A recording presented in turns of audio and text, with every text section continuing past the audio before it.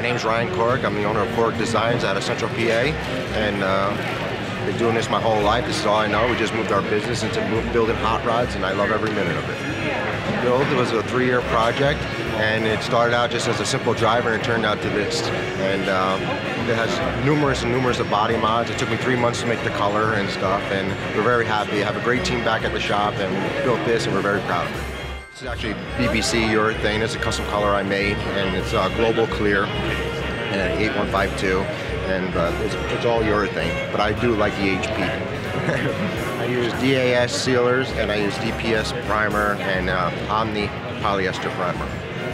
We got a nice 63 split window coming out next year and a, and a Mustang. So very blessed. A lot of big projects going on.